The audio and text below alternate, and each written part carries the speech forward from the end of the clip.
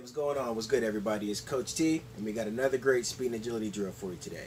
And uh, the weather was kind of bad, so we were stuck in the house. So what we're going to do today is we're going to work on quick step drills. And quick step drills are going to work with your overall agility, going to help with your ankle strength, your first step quickness, also helps with great cardiovascular workout as well too.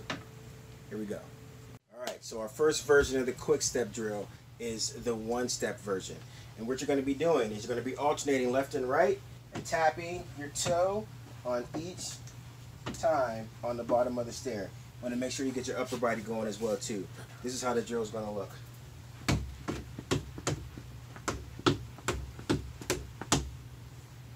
Alright, now the second version is the two-step version of this drill.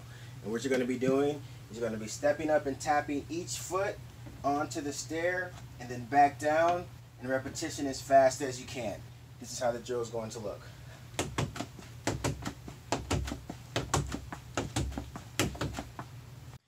These quick step drills are an awesome way to keep moving while you're stuck in the house. Remember, do your drills for about two to three sets. Make sure you're doing for about 30 seconds for each rep. Keep working at it, keep getting better and better. We'll see you in the next video.